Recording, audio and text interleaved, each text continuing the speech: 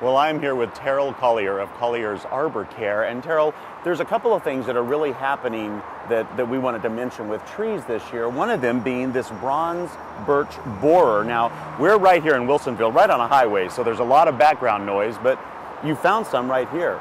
Yes, we have a number of uh, birches that are growing right here, and you can see all the, that they're dying from the bronze birch borer. And so this problem is so prevalent uh, that uh, almost every day I go out, I diagnose a birch that's dying from this particular insect. And it really, it does affect the whole family, not just a couple of uh, varieties of the birches. That's correct. Uh, most birches, uh, I would, uh, most species are susceptible to this. So the common European birch and the, also the, the Himalayan birch, very susceptible to the bronze birch borer. The only tree that's resistant, the only birch, is the uh, river birch. just resistant doesn't mean it can't get them, but it'll be less likely to if they're around. Yes. Now, how, how do I know? What do I look for? Well, first of all, you look up into the crown of the tree and look for dying branches. And another thing that you can look for is that if you can um, you can look on the branches, and this borer is very tiny, by the way, and the larvae are probably less than about a half an inch long, and it's the larvae burrowing underneath the bark that's killing the tree. And there are literally tens of thousands of them in a tree killing it. But what you want to look for is this tiny little hole. It's D-shaped. It's about the size of a BB.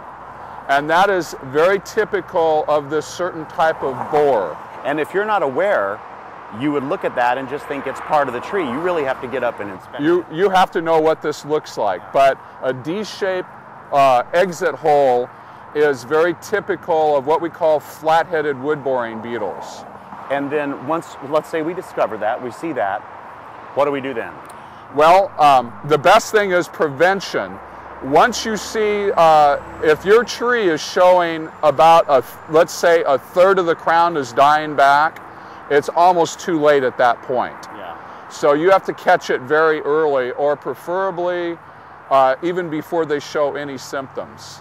So we actually have good controls for this particular insect by applying a systemic material as a soil drench around the base of the tree and then the tree takes it up through the sap stream and we can give them protection.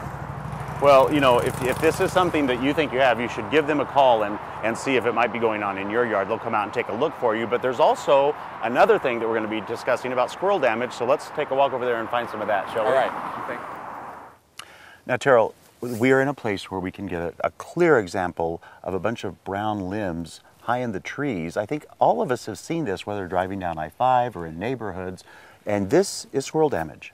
Yes, it is. And uh, what we have here with these power lines, we have a squirrel freeway. It is, isn't it? so they kind of use that for transportation, but they actually do a lot of damage. And so we have predominantly two species of trees that suffer the most squirrel damage, and that's our native uh, big leaf maple mm -hmm. and also our native Oregon white oak.